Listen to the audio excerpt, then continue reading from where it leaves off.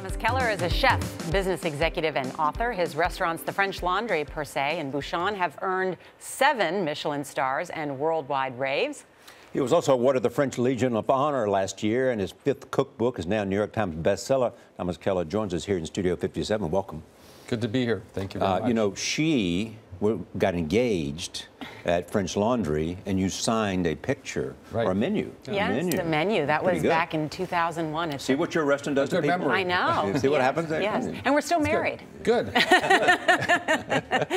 was a That's fabulous. a good sign. Yeah. And her husband has a restaurant empire. So, I, I understand. Yeah. so are you a chef now or are you simply a business executive? Well, it, it's an interesting question because I think, you know, like a doctor, if you move on in your profession, you're still a doctor. Right. Um, because you have those skills. So, I, you know, I like to consider myself still be a chef, although I don't practice those skills every day like I used to. So um, I'm more of a restaurateur today um, than I was 20 years ago. That probably put you in a better position to tell us exactly what's going on in your industry. Well, it's good. It's a good question. Uh, I, it's really, really strong right now. Certainly where we are in, in Northern California, you know, Napa Valley is yeah. a, a, very special place to go.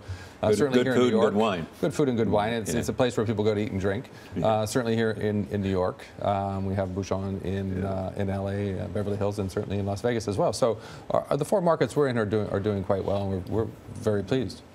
Think is the most exciting thing going on with food right now and, and in the restaurant industry? Well, there's certainly a lot of things that, that you can point to, but I think one of the things that we've been talking about for years is, is our reconnection to our farmers, our fishermen, our foragers, and our garden, gardeners. And I think that that's really important. Uh, you know, chefs, we, we call chefs celebrities and stars, and I think really uh, that notoriety should be given to, to those people who are committed, who really commit their lives to, to raising animals or, or farming for us, growing our vegetables, fishing, uh, or out, out, foraging. Those are just extraordinary individuals who do that every day. Mm -hmm. Is there a common denominator among the great chefs that you have known? Well, I, you know, it's, it's a good question as well. I, I think that, uh, that, that commitment, uh, uh, total dedication, and, and, people always talk about, you know, what we do uh, as a profession, but it's more of a lifestyle. Uh, and it's a wonderful lifestyle. I mean, we, we get to, certainly today in, in, in my generation, we get to be involved in so many different things than the last generation just get involved in. So not only, not only are we cooking, but we have the opportunity to, to write a book, we have the opportunity to, uh, you know, to design, we have the opportunity to do a lot of different things. So our profession has become very dynamic, and for that I am very thankful. Yeah. You won the Legion d'honneur, as I mentioned. Um, France, in many ways, was considered for a long time the best cooking. Then the Italians got some attention. Then American cuisine got some attention. Is there a dominant cuisine today? Uh, I think you know cuisine very, uh, has become very diversified, and uh, you know I don't think that French is any any less uh, great than it was 20 years ago, or, or Italian is, is, any better than it was 20 years ago. I, I, just think that we have become more sophisticated, more knowledgeable, and certainly as as the as cuisine begins to grow around the country, around the world, you see you see more places. I mean, you see the Scandinavian countries right now, which are, are oh, have, have great have, Copenhagen, great, great yeah, great restaurants now, and you know it's just about the next generation generations really embracing from, from wherever they come from, embracing the idea of becoming chefs and running restaurants.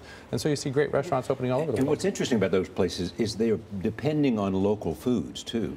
And yeah. Well, you know, local is an interesting is an interesting topic because lo local, you know, is, is, very hard to define. Is it is it is it geographically defined? Is local 25 miles, 50 miles, 100 miles?